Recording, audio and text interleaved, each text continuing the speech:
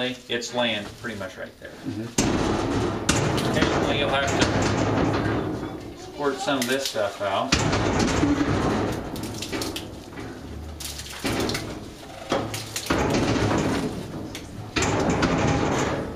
Normally you take your ball your fist out, and a cow can be crapping.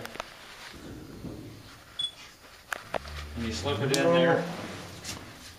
I mean, you can, you can, you can probably, should probably take the napkin and wipe it off, but you do enough of them, you can hold that open. But what I'll do is reach that cervix, and I'll roll my wrist around at the, I'll find, get right up there to the end of that, and just roll that cervix instead of poking. Doc can tell you about the corks, the different layers to the cervix. There's some, between three and five rings, he's work his way through. It's kind of like rings, so I've got to rotate that so it goes through.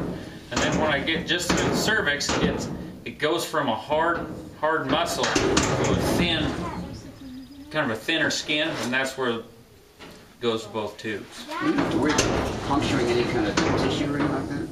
That's why you don't go to poking it. You just kind of, you just kind of fill.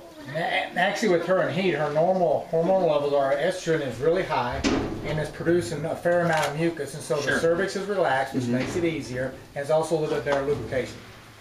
You just, good point. Yeah. But you get just past the, past where that muscle is, you kind of, you can kind of feel the end of it with your finger.